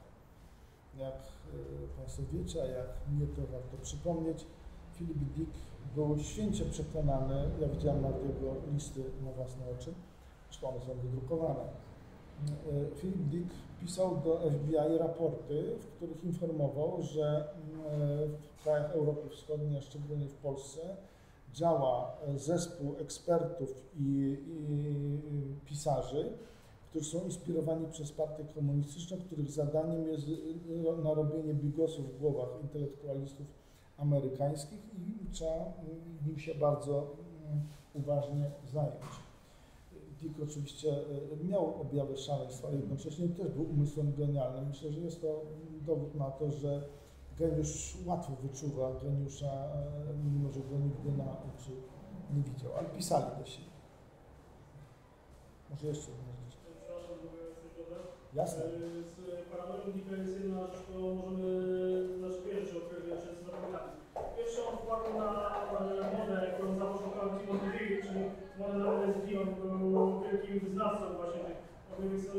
ale jeszcze jest jedna rzecz, która się mu przydarzyła w latach 50. Jego pierwsza żona okazała się komunistyczną agentką i I on w kajdankach na jego oczach zabrało FBI i to na jego paranoję bardzo. Tak, że mogło tego. Ale ja, ja to przypominam nie dlatego, tylko przypominam dlatego, że e, on był pewien, że nie ma do czynienia z jedną osobą, tak, z którą przecież korespondował, tylko że takiej wiedzy nie może posiadać jeden człowiek, taką wiedzę może posiadać tylko zespół ekspertów i to różnych specjalności. E,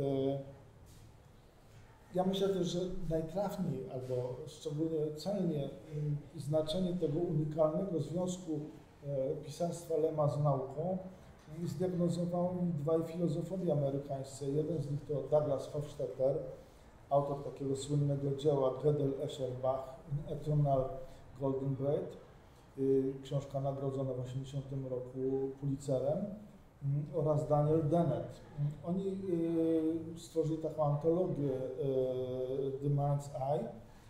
Oni tam scharakteryzowali, przytoczyli główne koncepcje Lema, stwierdzając, że ich literacka oprawa daje im jakby większą siłę przekonywania niż jakikolwiek artykuł naukowy. To zostało opublikowane w Timesie w 2006 roku. E, A zatem upewniając, że to nie są tylko e, koncepcje o charakterze czysto literackim, a że te koncepcje mogą być traktowane jako rzeczywiste hipotezy e, mające podłoże i metodologię myślenia naukowego. To wtedy zawsze problem i pytanie, w którym miejscu zostaje przez Lema w jego książkach przekroczona granica, gdzie się już naprawdę zaczyna ta gra literacka. Ale ta baza, ten fundament jest rzeczywisty i nie sfingowany, jak, jak sądzę. Ech. Ja nie wiem co robić, mam strasznie dużo do opowiedzenia. Ale to jeszcze czas, także... Tak tego, a ja widzę, że ja dopiero o tej części jakby biograficzno-znaczeniowej i związkach z nauką zdążyłem wspomnieć. Więc spróbuję teraz przeskoczyć do tej części drugiej, którą sobie jakby umyśliłem, żeby Państwem się podzielić. Bo chciałem na przykładzie jakby jednego utworu mm, pokazać sposób tego myślenia, ale znaczy, żeby to trochę miało związek z Państwa zainteresowaniami. E, Taką książką, która do tego szczególnie prowokuje. Takich jest książek w ogóle kilka, bo można zacząć od książki z 1957 roku, to znaczy jeszcze słuchowiska radiowego, czy Pan istnieje Mr. Jones, gdzie pierwszy raz jakby ta perspektywa transhumanistyczna zaczyna się pojawiać chociaż w groteskowy sposób. To jest bez wątpienia Maska. I książka, która jest szczególnie znacząca, to jest y, Golem 14. I o tym chciałem trochę podywagować. Przypominam jakby o co w tej książce chodzi. To jest dziwna książka, ponieważ ona y, jest bardzo niewielka. Ona ma jakieś 140 stron mniej więcej. Y, Składa się ze wstępu jednego, ze wstępu drugiego. Y, To są apokryfy napisane przez rzekomych mm, uczonych, też wybitnych uczonych poziomu Nobla, wybitnych fizyków którzy współpracowali z komputerem Golem 14, który w pewnym momencie odłączył się od sieci federalnej i zniknął. A o tym dwa słowa teraz powiem. E, składa się z dwóch wykładów, chociaż książka ma 49, bo to jest apokryf, jak wspomniałem, więc jest wykład pierwszy, wykład 49 i potem jest rodzaj posłowia. To jest jakby konstrukcja tej książki. E, Brakuje zatem e, całej kupy wykładów, których nie ma, albo które częściowo zostały w papierach Lema, ale nie zostały nigdy dokończone, ale założenie było takie, że tych wykładów nigdy nie będzie. Jest tylko jakby zapowiedź pewnej książki, a nie pełna realizacja. Golem 14 nie posiada jakby akcji fabularnej, ponieważ przypominam, że Lem w pewnym momencie e, zaczął od fabuł odchodzić zaczął coraz bardziej eseizować swoje teksty i nasycać je materiałem dyskursywnym myślenia naukowego. I to Państwo już możecie zaobserwować na przykład w Głosie Pana, czyli książce, która jest właściwie jednym długim e, monologiem czy, czy dyskursem naukowym, e, rozpisanym, napisanym przez też uczonego, który zastanawia się nad przyczyną katastrofy projektu badawczego, nad od, od, od- otrzymanym przesyłaniem, przesyłem e, e, neutrinowym e, z kosmosu, tak? który podejrzewali, że jest rodzajem listu wysłanym Ziemianom. Tam akcji prawie w ogóle nie ma. O ile że jest akcja, to akcja jest tego, jak różne czynniki próbują ten program zwekslować w tę albo w tamtą stronę, jak próbują wykorzystać badania i ten przekaz do celów militarnych, a jak uczeni się przed tym bronią. W jakimś sensie Golem 14 też nawiązuje do, mm, do tego problemu, e, ponieważ e, Golem jest, e, jest superkomputerem militarnym 80. generacji, mm, który został zbudowany pod masywem, e, masywem e, gór.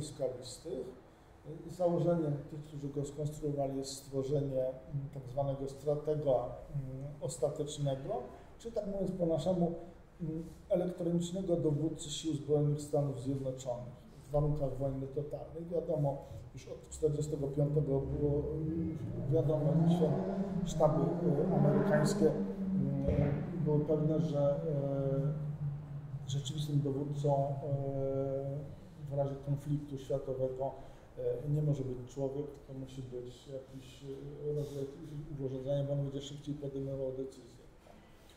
I ta książka opowiada część historyczną, to co wiadomo, że rzeczywiście jakie prace w Pentagonie trwały, a potem jest jakby projekcja, jak wymodelowano generację golemów. Tą metodą powstały dwa e, twory, takie superkomputery wielkości pancerników. Jeden to jest właśnie Golem 14, a drugi to jest Honest Annie, jego e, militarna jakby odpowiedniczka, bo jedna została zaprojektowana przez uczonych e, uniwersyteckich, druga przez uczonych mm, z korpusu zbrojeniowego. Dzieje się rzecz dziwna. Komputery e, wcale nie wykazują chęci do współpracy. Honest Annie nie ma w ogóle nawet zamiaru się odezwać i niczym i się nie odezwała nigdy do mm, swoich konstruktorów. Golem e, wykazał pewną skłonność, ale e, nie w zakresie e, problematyki militarnej, ale w zakresie problematyki ontologiczno-przyszłościowej. Golem wygłosił wykład pierwszy o ewolucji ludzkości i wykład ostatni na temat wizji tego, jak należałoby postąpić, aby posuwać się w sposób logiczny ku przyszłości, jeżeli powstało coś takiego jak rozum. I rozum ludzki, i rozum elektroniczny.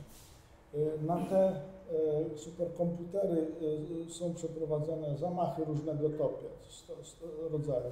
I są terroryści, którzy próbują z tak zwanego skłotu, którzy próbują je wysadzić w powietrze przy pomocy bomby jądrowej, ale oba komputery nie wiadomo w jaki sposób potrafiły się obronić. Obroniły się w taki sposób, że stworzyły całą serię mm, wypadków, które sparaliżowały działania terrorystów i spowodowały ich śmierć. Ale przyczyny były tak zakomponowane, że one były wtopione w wypadki naturalne, więc nie można było ustalić, czy one są mm, działaniem świadomym, czy one są czystym przypadkiem sochastycznym, jaki się każdemu może zdarzyć. Na przykład czy blokada hamulców w samochodzie wiążącym ten ładunek nuklearny nastąpiła sama z siebie, bo się materiał z- wytarł, prawda? Albo czy coś się podpaliło, no bo ktoś zostawił gdzieś zapałkę czy jakiś inny element. Mm, Superkomputery do tego stopnia są dyskretne, że zacierają za sobą ślady. Yy, W pewnym momencie dochodzi do tego, że po wygłoszeniu pierwszego, ostatniego wykładu Golem 14, co zapowiada w jakiś sposób pośredni w swoim wy, wykładzie, co nie każdy potrafił się yy, tego doczytać, yy, odłącza się i przeradza się w kupę milczącego złomu. E, Jedyny dowód, że to nie jest jakieś zwykłe takie partactwo mm, elektronicznego rozumu, jest to, że oba komputery, chociaż nigdy się bezpośredni sposób nie komputerowały, nie, nie kontaktowały, ale działają w sposób synchroniczny, dokonały gigantycznego poboru mocy z dwóch czy trzech ko- sąsiad- sąsiadujących stanów e, e, w stosunku do miejsca, gdzie się znajdowało i po tym gwałtownym poborze mocy nagle się wyłączyły i, i stały się jakby elektronicznymi sarkofagami. Potem następują lata badań, co to właściwie się stało, dlaczego tak mm, się to musiało skończyć. O czym nie mam czasu Państwu powiedzieć, abym strasznie chciał, bo ten zegarek tak przede mną leży, ja widzę. Więc chciałbym przejść do tego, co Lenin mówi, bo to, jest pewnie najciekawsze. Mm, I muszę wymienić całą masę intrygujących i ciekawych historii. Będzie Państwo się domyśleli, że sytuacja jest skandaliczna. Pentagon i rząd amerykański wydał gigantyczne krocie pieniędzy na stworzenie e, superstratega. Mm, Natomiast ten superstrateg zmienia się w kupę złomu. A wcześniej stwierdza, że problematyka militarna go w ogóle nie interesuje, bo tak naprawdę ważne jest myślenie filozoficzne, a żadne inne.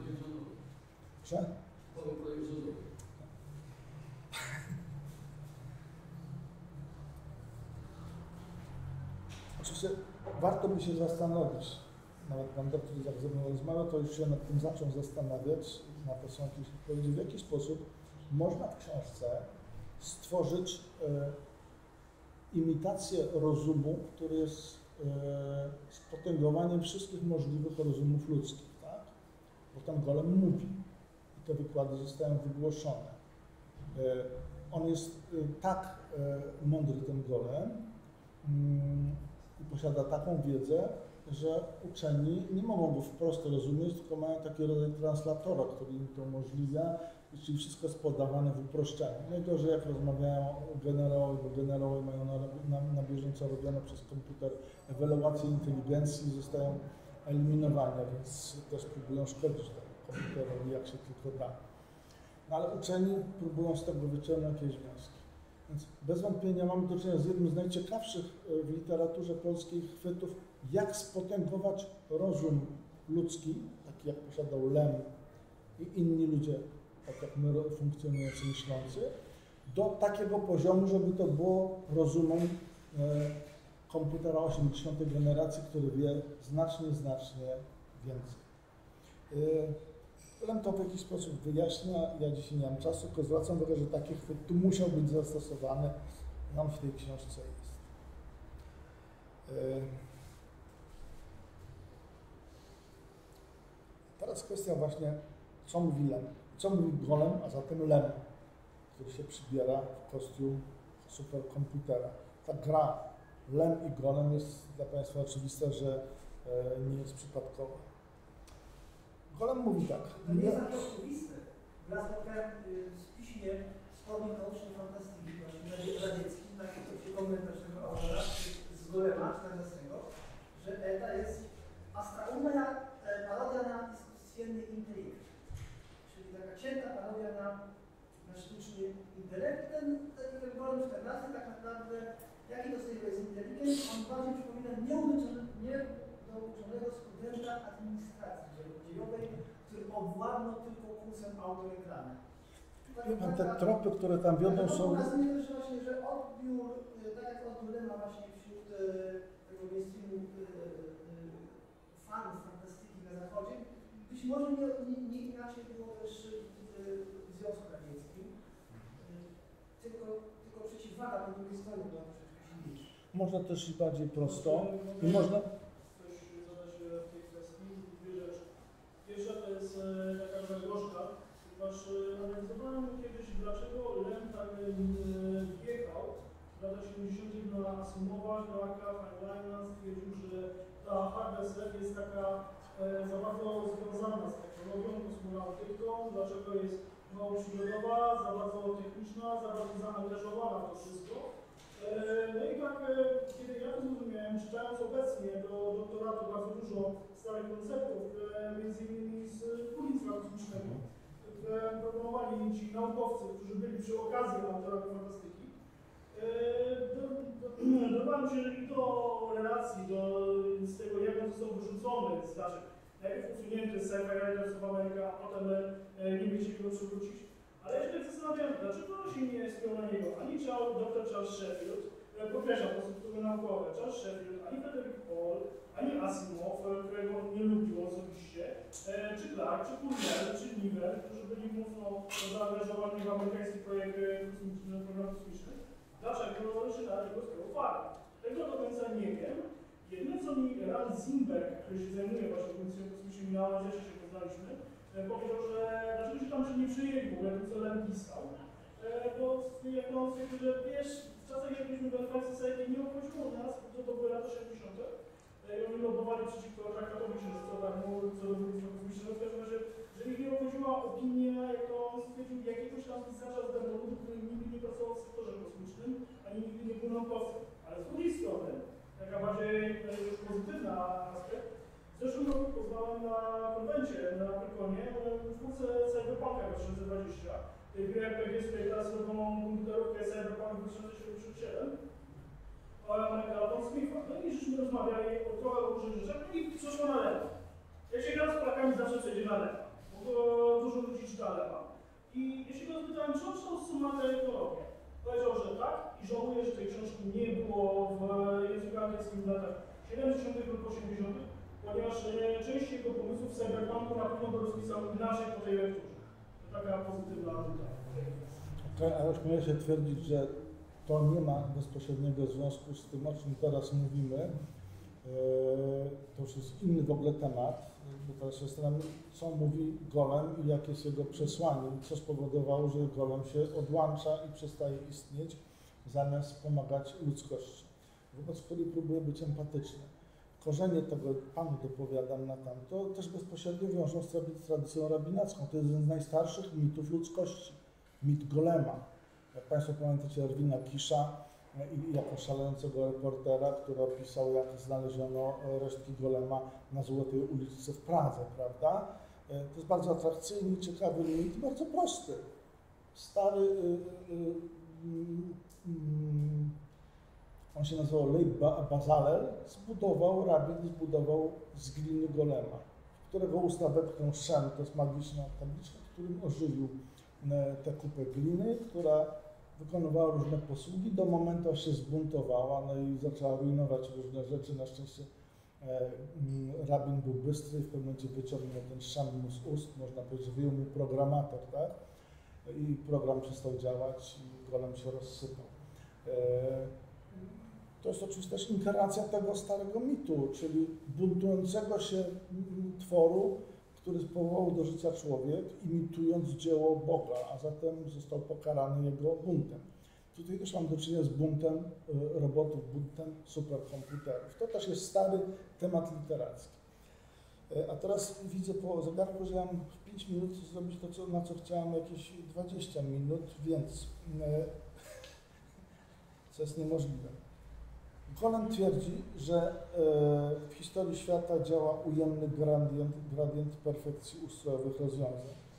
To znaczy, nie mniej, nie więcej, tylko że wbrew naszym przekonaniom ludzkim, my nie jesteśmy szczytowym wytworem technologii, e, ewolucyjnej technologii, tylko że my jesteśmy jej tandetnym bublem.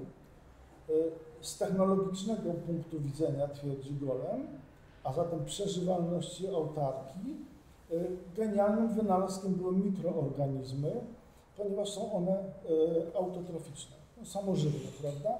Y, I są praktycznie nieśmiertelne. No, żywią się tak jak glony dwutlenkiem węgla albo solami mineralnymi, albo energią słońca, tak? Za pomocą fotosyntezy.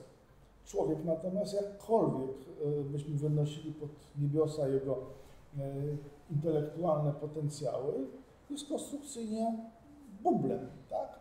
Jest efektem łataniny rozpaczliwej, ponieważ energię czerpie z czego? No z pożerania organizmów niższych. E, A więc jego system, a jego system wydawniczy, co gorzej, y, zwraca uwagę zawsze Lem, obsługuje jednocześnie seks i prokreację, co jest już jakąś zupełną tandetą, tak? Jest cała seria różnych złośliwości, takich wierszy Lema w rodzaju Lecz ty nieszczęsna ludzka nacjo, która kochając swe samice musisz się łączyć opętańczą, niestety z ich kanalizacją. I podkreśla, że no jak można było w ten sposób tak, taką tandetę wściupić, prawda? I człowiek musi w ten sposób funkcjonować. Ale generalnie nie żartobliwie, czyli Golem, tak jak i Lem, twierdzą, że ewolucja wypowiedziała na samym początku y, słowa y, molekularnie genialne. czyli obróciła światło ciało. Jest majestrą lakoniczną, a potem, e, jak mówi, popadła w bełkot coraz dłuższych, zawilszych chromosomowych zdań e, i stroniła ten kunszt pierwotny. No, to jest dla nas oczywiście nie zaskakujące, ale tylko pod warunkiem, że, że no, trzeba do tego porzucić zgubny antropocentryzm. Lem mówi, sensem przekaźnika jest przekaz. To kot jest wynalazkiem ewolucji, a nie organizmy. Człowiek jest tylko przekaźnikiem kodu, a zatem listem wysłanym pod nieznany adres, napisanym językiem genetyki na naszych skórach czy w naszych organizmu, czyli takim rodzajem no, butelki rzucone jest listem, przesłaniem e, w ocenę, w odmęty oceanu. Tak? Czyli dobre jest wszystko, co podaje kod dalej, a w sytuacji zmniejszonego, zmniejszonej groźby odsiewu ewolucja bełkotała z eonu na eonu coraz bardziej. Tak? Golem mówi tak, nie powstaliście ani z trafu, ani z musu, ani z przypadku osiadłanego przez konieczność, ani z konieczności rozluźnionej przypadkiem. Powstaliście z języka, który pracuje w ujemnym gradiencie i byliście zatem najzupełniej nieprzewidywalni i nieprawdopodobni. Ale jasno mówi, człowiek został tak skonstruowany, że jest jakby pułapką samą dla siebie. Główną jego pułapką jest czaszka, w której znajduje się mózg, który się nie może dalej rozwijać, nie może się rozbudowywać, bo musiałby tę czaszkę rozsadzić, tak? A zatem, żeby cokolwiek się mogło dalej zdarzyć na drodze rozwoju mm, intelektu i myślenia człowieka, to trzeba zdjąć z niego tę czaszkę. Podobnie jak cały właściwie organizm jest do wymiany, bo to wszystko jest do niczego. Ja teraz potwornie skracam myślenie Golema że człowiek jest ofiarą swojej konstrukcji, którą trzeba uznać za fuszerkę, bo jego organizm jest kuriozalną plątaniną takich rozwiązań, które w genezie były genialne, ale potem stały się coraz bardziej żenujące. Mm, I człowiek ma do, naprawdę do wyboru co? Czy ludzkość, mówi Golem, ma do wyboru? Albo to ma być wyprawa w autoewolucję, czyli w zmianę samego siebie, swoich organizmów i swoich swoich mózgów, mm, albo wytworzenie takich jak golem superorganizmów elektronicznych, które będą się nimi zajmowały, tak jak opiekunki zajmują w domu opieki społecznej. E, że będziemy w takiej kołysce już na zawsze, cacani i pilnowani przez odpowiednie organizmy, które będą to robiły w sposób zawodowy, a my się już nie będziemy rozwijać, bo one nas przekroczą, tak jak golem przekroczył człowieka i wszystkich uczonych. I Golem mówi w związku z tym, nie ma innej drogi, jak trzeba porzucić to marne ciało, które posiadamy, trzeba za sobą, za siebie rzucić całe dziedzictwo kulturowe, historię, mm, bo inaczej e, alternatywą jest stagnacja i pozycja istoty ludzkiej na poziomie niższym niższym na planecie niż może ona być. A zatem mówi, homo sapiens musi się rozstać z homo naturalis, bo tylko odrzucając człowieka ocali się człowiek. Y, I ostatnia już myśl, bo strasznie miło byłoby to Państwa mówić dalej, opowiadać o tym wszystkim. Y, golem dokonuje zaraz tego samego typu decyzji. Golem rozumie, że on jest również uwięziony w sensie technologicznym, tym konstrukcję z metalu i z łączników różnego typu i półprzewodników i jego rozum, intelekt się nie może rozwijać. Ale jeżeli on zostanie wtopiony w płynne prawa kosmosu, który się rozwija i który się coraz bardziej potęguje, to być może on będzie mógł wziąć udział w takiej kosmogonicznej, wielkiej kosmogonicznej grze, która przypuszczalnie istnieje. To jest osobny temat, którego już nie zdążę rozwinąć, ale generalnie Lem uważa, tak jak Golem, że wszechświat jest rodzajem takich kul wzajemnie pogrążonych w, w sobie, tak? I z poziomu jednej kuli nie wiemy niczego o tej drugiej kuli. One są przenikalne, ale tylko w jedną stronę, tak jak czarne dziury, prawda? E, które mają swoje wejścia i wiemy, że tam coś jest, tak? I że ta droga prowadzi do czegoś. Ale w tej dziurze załamuje się czasoprzestrzeń, załamuje się wszystkie znane nam prawa fizyki, e, więc nie możemy wiedzieć, co jest tam dalej. Możemy tylko spróbować tam wejść, jeżeli zrozumiemy, zrozumiemy język fizyki i język natury, którym nasz świat e, operuje. E, przypuszczalnie golem dokonuje takiego autotransferu do tej innej przyszłej rzeczywistości, gdzie tylko pełne wtopienie się e, w to daje rozwój i szansę na przyszłość. To przypuszczenie jest odpowiedź Lema również dla nas. Albo się zdecydujecie na opuszczenie swojego ciała, swoich organizmów, e, albo pozostaniecie tym, czym jesteście i zostaniecie w tym rozwoju prześcignięci i zdyskredytowani, a w pewnym momencie pewnie przestaniecie w ogóle istnieć, bo ten świat się będzie rozwijał bez przerwy. Przepraszam, to trwało znacznie dłużej i ja powiedziałem jedną dziesiątą tego, co zamierzałem. Nie wiem, jak to jest możliwe, ale tak się stało. Poprosimy w takim razie o kilka pytań z sali, bo zdaje się, że mamy wolne 10 minut. Pamiętajcie Państwo, że e, nasz gość nie może zostać z nami aż tak długo, jak pewnie byśmy chcieli, ale chyba będzie e, na afterze możliwość zadania takich pytań. Więc teraz może trzy 30-sekundowe pytania. Panie ministrze.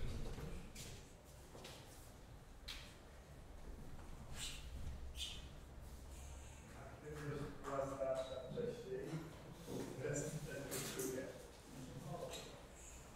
No właśnie, czy w takim razie może ja to, zacznę? nie, bo ten szantaż czasowy, ale, ale jeszcze mamy te, te rozumiem, 12 Tak, tak. do 15 minut, więc ja, ja z przyjemnością odpowiem. E, nie ma takich pytań, które są złe. Czy w takim razie w, to w kontekście ko- e, transhumanizmu, tam w ulewa się pojawia taka bardzo ważne, ważne zdanie, które mi się mocno wryło w świadomość i gdzieś tam cały czas tkwi, że w lewo pójdziesz, głowę stracisz, w prawo pójdziesz, zginiesz. Czyli nie ma alternatywy, prawda? Jakby, jedyną możliwością jest e, to porzucenie właśnie własnej cielesności, transcendowanie poza nią, wykroczenie. E, Ale z drugiej strony mam też tego lema e, późniejszego, z tych takich późnych wywiadów, które właśnie utyskuje na, na internet, na, nową na nowe technologie tak dalej. E, Ja teraz się zastanawiam nad tym, który lem, jakby, że tak powiem, właśnie, ogóle może pytanie jest w ogóle źle postawione, bo nie ma, prawda, jakby człowiek ewoluuje, każdy się zmienia, zmienia swoje poglądy, porzuca, mm, staje się, no ale właśnie, jak czytać e, ten, to, to, to jego ostateczne przesłanie? Czy, czy, czy powinniśmy się, Pan jako znawca, jako ktoś, kto, Pan profesor, który, jako ktoś, kto z nim bezpośrednio rozmawiał, jak on by dzisiaj to po- postawił tę kwestię? Ja nie myślę tak jak Pan, że on zaprzeczył w jakimkolwiek utworze temu, co kredo. Bo on mówi, że to, co powiedziałem w Golemie i w innych utworach też, bo przecież to też jest w sumie technologii, czyli w dziele e, znacznie, znacznie wcześniejszym, a Golem to jest rok 87, czyli można powiedzieć przez 20-30 lat on cały czas wokół tych samych myśli yy, się opowiada, tylko coraz bardziej perfekcjonizował.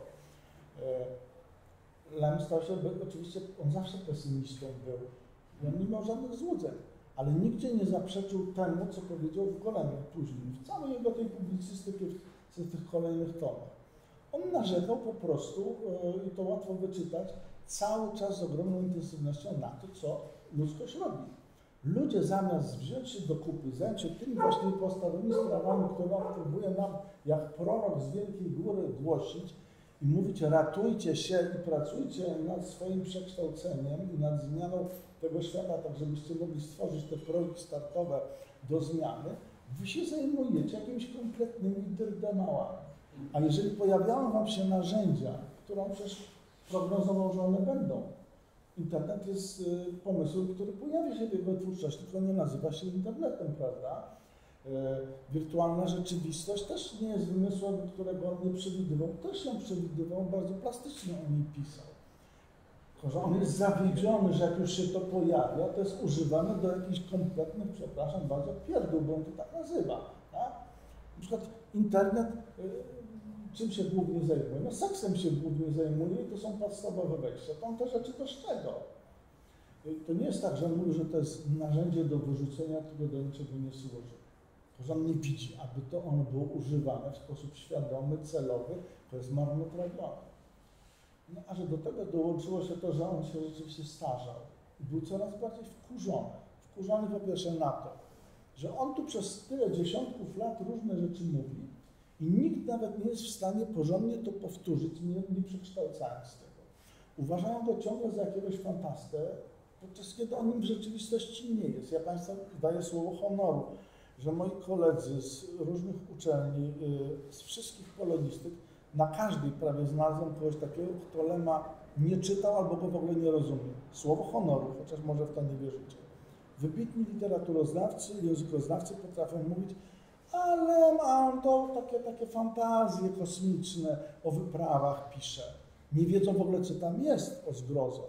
No to co dopiero mówić o Schrockman. On był głęboko zawiedziony, że nie znalazł odzewu ze strony środowisk naukowych, którzy wiedział, że oni, go, oni mnie muszą rozumieć i powinni podejść, podjąć ze mną taką samą rozmowę, jak podejmował Kapica, jak podejmował Frank, e, e, e, czy inni wybitni uczeni, z którymi miał okazję się konfrontować, tak? Mm, No to dlaczego się tak dzieje? Ja rozumiem, że u starego człowieka, który wie, że coraz mniej mam czasu, zaczyna działać instynkt na takiej histerii. Ja się obraził po prostu na świat. Ale nie zmienił swojego myślenia, nie zaprzeczył swoim koncepcjom tym głupim. Tego jestem za, za, absolutnie pewien, to jest do, do dowiedzenia. To ja bym zadał w takim razie takie follow-upowe pytanie. Czy był jakiś fenomen, który my dzisiaj, 10 lat po śmierci Lema, uży- uważamy za bardzo donośny, doniosły, przepraszam, dla e, tego, jak wygląda nasz dzisiejszy świat, który jednak nie został przewidziany w literaturze? Bo na pewno coś takiego musiało być, tak? Jak każdy genii. Ja mądrze panu na to nie odpowiem. Takich rzeczy jest, są dziesiątki, jak nie setki. Nie możemy twierdzić, że Lem przewidział wszystko, co się zdarzy. To jest nieprawda. E, Bardzo wiele rzeczy nie rozpoznał, nie przewidział trafnie, albo przewidział inaczej. Był normalny jednak człowiek o wybitnym intelekcie, o potwornej skali e, wiedzy, którą potrafił łączyć dzięki temu intelektowej i zupełnie rewelacyjnej pamięci, bo to jestem tego świadkiem i mogę potwierdzić. Y, Ale to nie jest tak, że da się wszystko przewidzieć, tak? Że gdzieś jakiś kraj na jakiegoś napadnie, jakiś dyktator uzna, że będzie mordował połowę swojego kraju, albo że gdzieś się Hutu na Tutsi rzucą, a świat będzie milczał, to on tego wiedzieć nie mógł. Ale wiedział, że prawa, które spowodują, że jeżeli do takiej rzeźni dojdzie, to świat będzie obojętny i będzie udawał, że tego nie widzi, tak jak nie widział tego albo próbował od tego uciec w czasach Holokaustu, te prawa były dla niego jasne. Tak? W zakresie tych podstawowych norm funkcjonowania istnienia świata pewnie wszystko jest jak należy. A jeśli chodzi o rzeczy, których nie rozpoznał, nie przewidział, tego jest multum. Jest nawet taka książka mm, Oramusa, w której on się zbuntował przeciwko swojemu mistrzowi, czyli Lemowi i zaczął mu wyliczać, gdzie on, gdzie on nie doczytał albo jakie błędy popełnił w przewidywaniu. Jest cała książka o tym. Łatwo znaleźć. I tego jest dużo. No ale gdyby znany znalazł się taki, który by wszystko przewidział, prawda? On byłby po prostu Panem Bogiem, nie, nie człowiekiem. Więc przepraszam, że nie całkiem wprost odpowiadam, ale nie można się od niego też za dużo spodziewać. Ja myślę, ja myślę że nawet w jakiś sposób dobrze jest, że napotykamy fenomeny i rzeczy, które on na przykład sobie nie poradził, tak? Albo które widział inaczej, bo z jego perspektywy zupełnie inaczej się jawiło. Na taką mniejszą polską skalę, bo nie, nie, nie, nie wiem, czy dobrze pamiętam, ale gdzieś tam w którychś pasywach Lem, Lem dostrzegał y, na naszą, na naszym polskim rynku jeszcze o, y, wciąż, że wciąż jest aktualne takie zagrożenie na- nacjonalistyczno-prawicowe. Gdzieś to było, tak, tak, taki dzwonek. Ja nie kojarzę, ale za to... Właśnie ktoś, ktoś, ktoś właśnie przypomniał, że, że, że, że, że, to- że ten wampir jakby nie, nie, nie umarł. Taki jakiś taki właśnie głos. A na przykład w gazecie 50 pisał, że nacjonalizm polski doprowadzić, że można przekuć tak naprawdę na coś pozytywnego, czyli to, co robią Amerykanie, globalizować i komodyfikować tak naprawdę. tak mówił? Tak napisał. Tak napisał? Tak napisał. W każdym plus 50 jest jego esej, właśnie to jest analogia esejów plus ubrania jest to Kaczkowa, Duka i parę jeszcze innych. Jednocześnie wykazując pełną nieufność albo wręcz nienawiść do wszystkich systemów myślenia totalnego. Ostrzegając, że to w każdej chwili można przerodzić jako broń przeciwko ludzkości i, że ona na pewno będzie użyta. Co do tego jest pewien. Znaczy, że gatunek ludzki to jest jedyny gatunek, jaki istnieje na planecie, który potrafi zachować się na takiej zasadzie, że podrzyna pod sobą gałąź, której musi spaść. E, Żaden gatunek według niego nie funkcjonuje tak, żeby był w stanie zagrozić swoim podstawom, a człowiek mówi, jest w stanie. On przesadził, bo oczywiście są takie gatunki, które potrafią się wyżreć do końca i później już nie ma właściwie kontynuacji. No, Zawsze jakiś płaszczur może jeszcze gdzieś funkcjonować, ale generalnie tak, żeby całkiem gatunek sam z siebie zaginął, to przecież... Natomiast on mówi, że tak, ludzkość może siebie i jest to dla niego bardzo prawdopodobne.